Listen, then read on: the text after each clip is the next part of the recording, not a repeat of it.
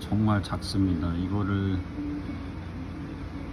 라세 모사라고 해야 될지 레이스 모사라고 해야 될지 모르겠지만 네, 정말 말도 안 되게 작습니다.